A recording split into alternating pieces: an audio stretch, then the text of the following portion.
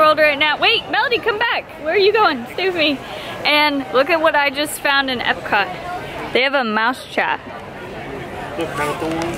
Mm-hmm. Oh, look. Well, that's that thing. I was going to say what it was.